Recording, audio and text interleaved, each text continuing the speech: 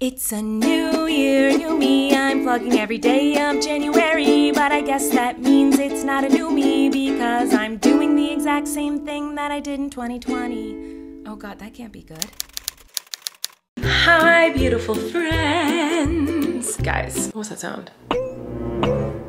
I heard a creepy sound outside. Anyway, um, hi guys. Welcome to today. It is Saturday. Just took a shower. I just put on some makeup. I'm about to post a vlog, get some work done. We're recording the podcast tonight.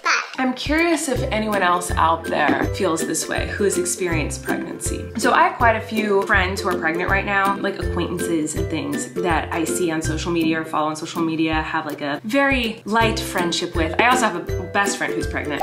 I keep seeing these people post about pregnancy and they're like, I just love being pregnant. I can't believe it's almost over. This has been so incredible. This is the best I've ever felt. Like stuff like that. I see those posts or I hear them say these things. First thing that comes to my mind is I am so happy for them because I don't want anyone on the planet to experience a negative pregnancy. Like mine was, I think, traumatizing. Like it really scared me and made me very depressed and like like, I hated it, as we all know. I've talked about this many times. Pregnancy was easily one of the worst things I've ever been through in my life. Like, I really hated it. I can't think of anything I liked about it, other than that it, it made Flynn. Other than that, it was horrendous. And so I would never want that for anyone. And I'm jealous of these people, not in a like a vicious way, but just jealous of in the sense of like, oh, I wish everyone could experience that because that looks so amazing, like to enjoy your pregnancy. Now, having said that, when I see people say they enjoy pregnancy, to me, my brain doesn't compute it. So yes, my first thought is I'm happy for for them, but my second thought is they're lying. They have to be lying. And I don't mean that in an accusatory, mean way, because then like my brain kicks in and my brain processes and goes like, no, like obviously they can enjoy their pregnancy. Every woman is different, every body is different, so everyone experiences it differently. But mine was so horrible that when I hear someone enjoys pregnancy, the only thing I can compare it to is like, like, okay, let's say you, you break your leg. Break your leg, all your bones shatter. It is awful, painful. For months and months and months, you're just in in excruciating pain. It is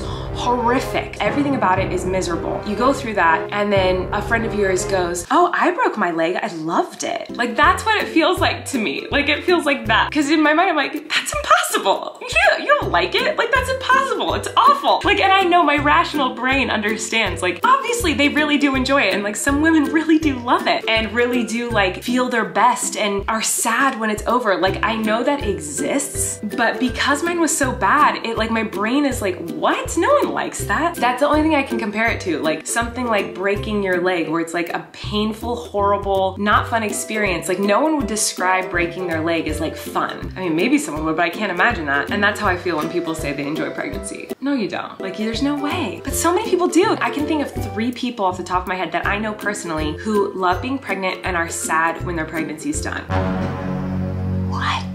And I'm happy for them and I wish it was like that for everyone. I wish it was like that for me. It's probably a good thing it's not like that for me because I would have already had two more kids by now. Like I would have already had a second child and be pregnant with my next because I love being a mom and I want a million kids. So like if I loved pregnancy, I would have a billion kids probably. So it's probably a good thing. I'm so jealous that they love it. I'm so happy they love it. I wish that for every woman or person who is pregnant and uh, that's not my experience. So my brain just thinks they're all aliens because that doesn't make any sense. Does anyone else feel that way? All right, I'm gonna go edit, but I love you guys. I'll see you in a little bit. I'm in the podcast room, which I've never shown you guys. So I should do a video soon that like reveals the podcast room and what it looks like and all that. It's kind of like a office slash podcast room slash movie room. I am currently trying to fix or change my background for the podcast. No way, this is not going well. Hmm. Yikes, guys. Literally yikes. In the last episode of the podcast, my background, which is the Miranda wall, fell. Oh no. Fell down. And I was like, that sucks. And I wanted to do something different. I don't know if I have time because we're recording it tonight, but I wanted to at least attempt to fix it today. And I don't know if I'm gonna be able to because this is, boy, not going well, guys. I'm gonna go try to fix my little Miranda wall. See you guys in a little bit. What happened? Puddles. Oh yeah? You went into puddles? Yeah. Did you get wet? Tush, tush. Oh, hair. Oh, that's where you got wet? Yeah. Oh no. Dada rat. Yeah, Dada. Dada got wet too? Oh, what? What happened? How to do the, the rat? You got wet? Yeah. Oh no. Are you gonna go back in the puddles more? Yeah. Do You want me to go? Yeah. Are you sure? Yeah.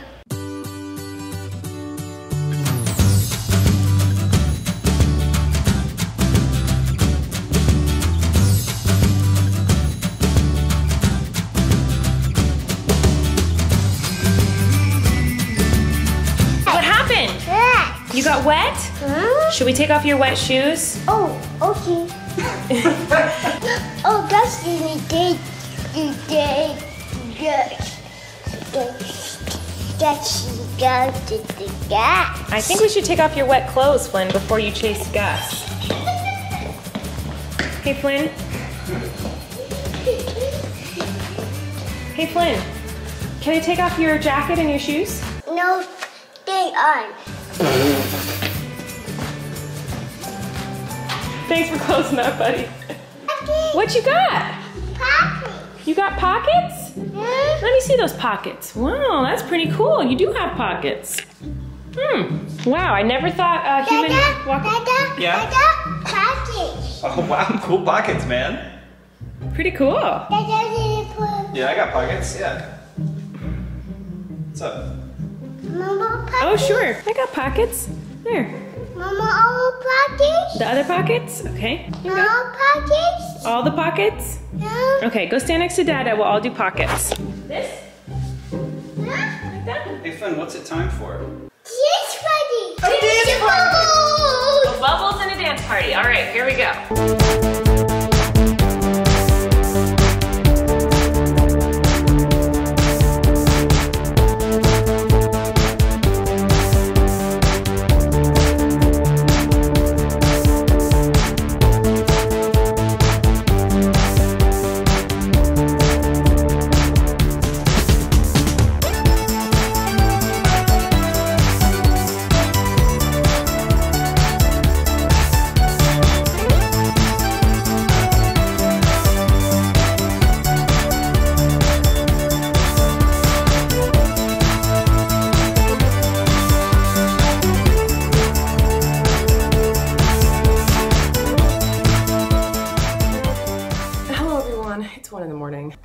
So I'm using my computer camera. Hello. I didn't vlog much today. I did not have a wonderful day. I'll talk about that a little bit in a minute, but first, I want to share some footage with you from yesterday. So in my vlog yesterday, I talked about JoJo because JoJo posted a picture online. So basically, because I was talking about her and something huge in her life, I just wanted to double check with her if it was cool that I posted it before I posted it. So I reached out to her, but I was waiting to hear back and she was really busy. So I was like, you know what, I'm just gonna take it out because I haven't heard from her. So I just deleted it out of the video yesterday. And then right after I posted the video, she texted, she was like, oh my God, yes, of course you can talk about it. Sorry, I've just been so busy. Um, she was like, yes, of course, like you can say anything you want, like love you. And then we FaceTimed and talked and all as well. So, but I just wanted to check with her since it was like kind of a big deal. Um, what she's going through and what she's experiencing right now is really big. I was like, I think maybe before I talk about her and this situation, I should check with her. So that's why it wasn't in the vlog yesterday, but now it's gonna be in this vlog. So here's that. I need to talk about something. I just finished my makeup and I need to film a video, but this is more important. I've been wanting to talk about this for a while. Now I feel like it is appropriate to talk about. So JoJo just tweeted this.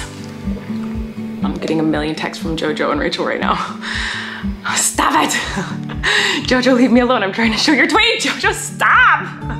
Okay, so this is the tweet. So here's what I want to say. I am so happy that things are changing so much in my lifetime, that I get to watch change happen. And I know there's a lot of things in our world that still need to change a lot as far as like equality with women's rights and social injustice. And oh my gosh, the racial issues are so horrendous and there's so much that needs to be fixed. And the discrimination against the LGBTQ plus community, there's so much obviously that still needs to be done. But to see teenagers be comfortable enough and confident enough in themselves and who they are to be who they are unapologetically, publicly online is so shocking and surprising and beautiful to me as someone who, like, I thought I would never see that in my life. Basically, my generation did not experience this, what I'm seeing now. And it's beautiful and heartwarming and emotional to see these kids be able to express themselves and explore who they are uh, unapologetically and without fear. Because that is not what I experienced, and that is not what I saw when I was their age. And I know I sound like an old person saying that, but like, I don't think a lot of people understand how different it was 20 years ago, but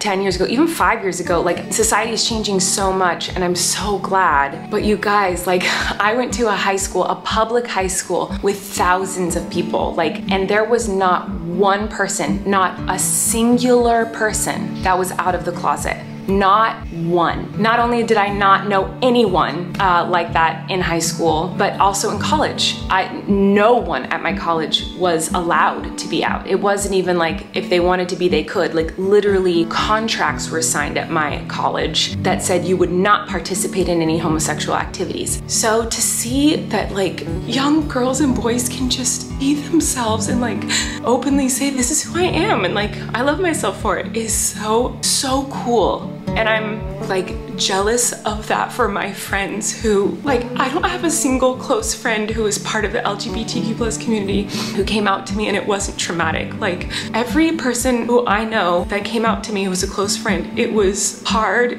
and sad and it wasn't a beautiful like everyone accepts them and loves them. It was like sad because they thought coming out to me meant that I wouldn't be their friend anymore because that's what they experienced from everyone else around them. Like my friends had parents who disowned them friends who disowned them. So many people were like I don't want to be associated with you. You're disgusting because of who you are. And that's what my friends have experienced that are my age. And so to see like to see people be able to come out and see everyone like love them and see people support them for that is really just so incredible. And it's so like beautiful to see that people can change and people's mindsets can change and people's ignorance and hatred and closed-minded views can shift and people can grow and learn and become more uh, loving and educated and open-minded. And to watch that happen in my lifetime is so beautiful because like you know jojo posted that photo and like i was looking at the replies and they're all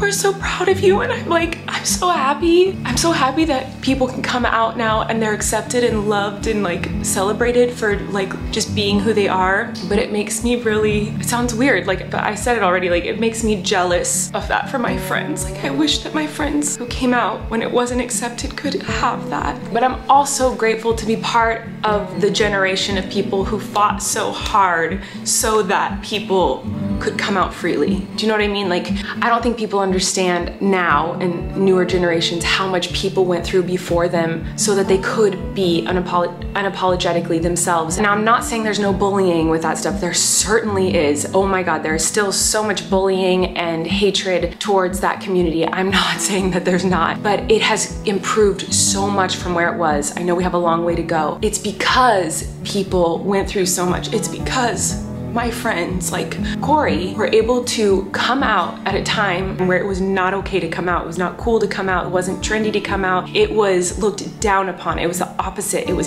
bad to come out. It was hide it. It was go to therapy, get better, go to conversion therapy or get a counselor or pray more. Something is wrong with you. I love you, but it's a sin. So I love you, but you're still disgusting to me because people in my generation and prior were brave enough to come out in those scary situations and be themselves. It's paving the way for this current gen upcoming generation and the generations past that to be who they are unapologetically and not be afraid to come out because people before them were afraid to come out and they still did. I don't know, I just, I feel very like emotional and like grateful that I get to watch the change happen because I really didn't think because of how much hatred I saw in my lifetime towards that community, I never thought I would live to see a day where it wasn't like that. I know look like a mess, I just woke up. I want to clarify something really quick as I'm watching this. I realized I didn't word this quite correctly. I'm very aware that there are still so many people currently who are afraid to come out um, in the LGBTQ plus community. My point was just that it's shocking to me that there are so many people who don't have to struggle with fear in our current day and age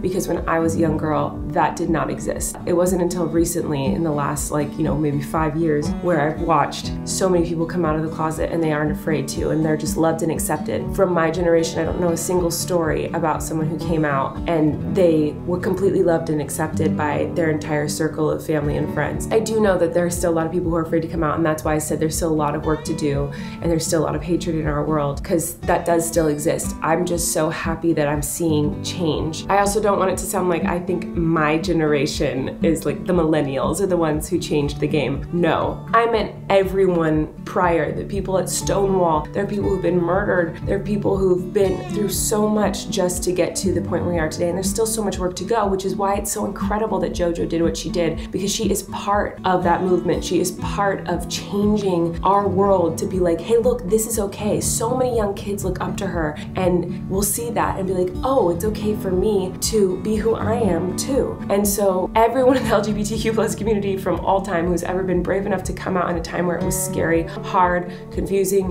um, dangerous, they're all paving the way. And it's just, it's been really amazing to see in my lifetime that we're at a point where so many young people can come out and are loved and accepted and not told they're rotten garbage who are going to hell because that's what I experienced. So anyway, I just wanted to throw that in there because I didn't want anyone to misconstrue what I was saying because I didn't word it quite correctly. I know we still have a lot of work to do, but to watch it change is really wonderful and I'm grateful for it. So it's still so brave and honorable of people to be able to be themselves and come out now because there is still bullying, there is still people who are hateful and not accepting in the world today. Like obviously that's still very much a problem, but I'm just happy it's getting better and I'm happy to see teenagers able to like be who they are because I never, I did not know a single teenager when I was a teen who was comfortable coming out, not even in my early 20s. So yeah, it's just really beautiful. And I'm just really happy for the community and there's still a lot more work to do, but I'm just happy it's headed in the right direction. That's all. So there's that. I am just down today. I'm just kind of sad today for no reason. And so if you don't want to see me be a little mopey queen, get out of here. Click off the video. Don't watch anymore. But if you don't mind watching me be a little mopey queen, hi. So I am sad and I don't really know why. I don't understand why. I feel extremely overwhelmed for kind of no reason. I mean, I have a reason, like there's a lot going on, but I feel really overwhelmed. And sometimes I get like this. Sometimes I'm like living for all the work and like all the stuff in life. I love it and it like like just makes me so happy. And that's the majority of the time. I think last year it was easy for me to understand like, oh, this is all different. Quarantine is scary. This pandemic is scary. I just want to go to a store. I just want to do stuff. You know, like I was feeling that way. And I'm so used to this life now because it's been almost a freaking year of this that maybe it's not computing in my head that like this is making me sad still. So the fact that my life is kind of only work and being a mom, which I love, maybe it's I feel like I don't have any like personal identity outside of those things, if that makes makes sense. Like, and I think hopefully that's something moms can relate to and understand. I feel like I've heard moms say that before. Like, I'm, I'm doing my work and I love my work and I'm being a mom and I love being a mom, but I don't think I haven't really left any time there for like me. Not that it's like all about me and my life is like, oh my god, like ew, what about me? Like it's it's not that I have that thought. Like the end of the day, happen like it's one in the morning and I go, oh, huh, I didn't do anything for myself today. I did in the sense that like I love playing with Flynn and I did in the sense where like I like my work and I got work done. I want to go to the beach or go see my family or go hang out with my friends or go shopping or travel or go to the craft store. I don't know. I don't know. I just don't really feel. I never, I don't allow myself to do things for me because there's not time for that. But the hard thing is, is I don't want to eliminate the things I'm doing. Like I don't want to not do my work. I like doing my work. I don't want to trim any of that out of my life. I like spending my time with my son and being his mom and being attentive to him and playing with him and doing the things he loves. Those things fulfill me too. I think honestly, I'm just really tired and I, I need something different. Every day is kind of the same and I don't do anything for myself in the sense that like it's something that's just for me. It's not something for me and Flynn or me and Erik or me and you guys and work. And I don't want anyone to watch this and think like, oh my god, like she thinks her life is so hard and she is so easy and like her life is great. Like why is she complaining? Like I agree with that. So like that's part of the reason I think I'm like feel like kind of emotional is like I feel stupid feeling sad or like feeling ugh, any type of way. But I feel like I'm all over the place. I don't know what I'm saying. I'm probably just really tired. Um, but I think this is something moms deal with sometimes where your whole life is like being a mom and getting everything done for the family. And then you're like, where am I in this equation? Ew, I, I know I'm gonna hate this footage tomorrow. I know tomorrow I'm gonna be like, ew, you sound like such a selfish like brat. And I don't want it to seem like that. It's not like I want like a day to myself. It's like I just wanna like go to Target. I feel like if I could just have a day where I could like go to a craft store for 15 minutes and walk around, I feel like I'd feel better. It's not like this like, oh my life is about other people, not myself. Like it's not that. So much of my identity and who I am and what makes me happy is my work and my family, like my son. Like that is so much of who I am. But like today, for example, like I woke up and it was playtime with Flynn, which I love, and cuddles with Flynn, which I love. And then it was editing, filming, emails, building like the set for the podcast. And then I got to like dance with Flynn for a minute and watch Flynn play in the rain for a minute. But then it was back to working on the podcast and writing out all the brands, the brand deals, and what I have to say. And then it was cleaning up and it was making dinner for Flynn and opening up packages and organizing things for videos. And then it was setting up the microphones and putting Flynn to sleep, bath time and sleep time. And then while he was taking his bath, I was like working on other stuff for the podcast and then put him to sleep. And immediately, like, I scarfed down food for the first time today, went into the podcast, and we finished the podcast at midnight. And now I'm in my office uploading footage. And now I'm here talking to you. So there wasn't a moment today where I could like sit down and like veg out on my phone and like watch videos. There wasn't a moment today where I could like just run an errand alone to like have a breather because I don't do that. I don't leave my house. And I think I just need that. I think I just need like 20 minutes. Why does that make me cry? The thought of 20 minutes alone. yeah, I don't know. And I know, like, I hate, I don't even, like, I'm nervous to even say any of this because I feel like now, tomorrow, I'm gonna get comments that are like, just take time off of work. But, like, I don't want to. It's not that I'm like, I'm working so hard and I don't wanna be working. Like, I like my work and I like my time with my son. I just wish there was more hours in the day so that I could, like, not even more hours, like 20 minutes. I want 20 minutes to go to the store or go see my sister or anything different. I want 20 minutes of anything different.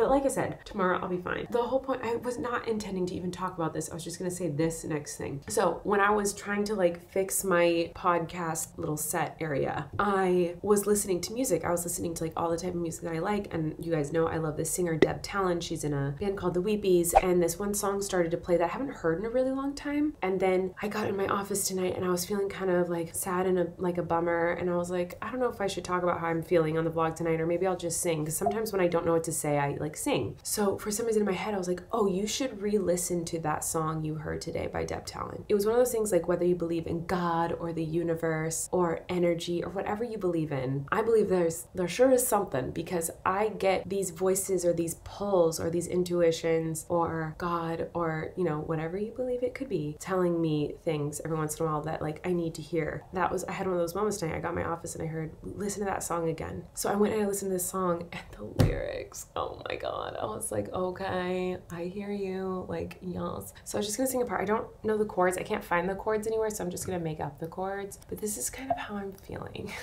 you tie your shoes too tight, you know. Cause it feels better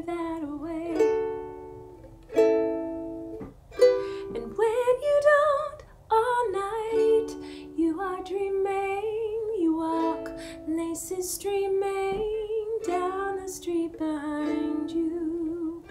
A river of tangled string,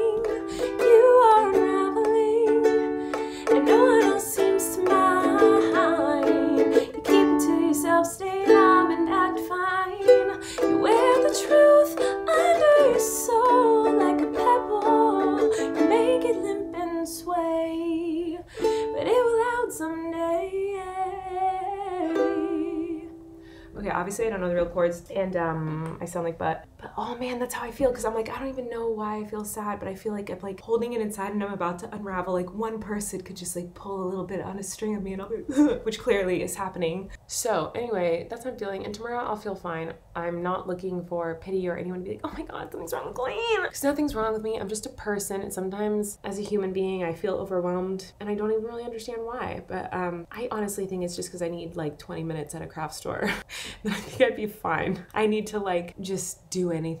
Take Flynn to a museum or like I just want to do something that isn't just sit in my house and do the same thing every day. Um, and something that like will bring me joy. I don't know. I feel I don't know. Anyway, I'm gonna go, but I'm a mess. I'm fine. I'm gonna go to bed. I love you guys. I'll see you tomorrow. You can relax. Colleen and Erik have a podcast. The world is scary and we're locked in our home, but now we have big microphones. You can relax. That's the name of our podcast.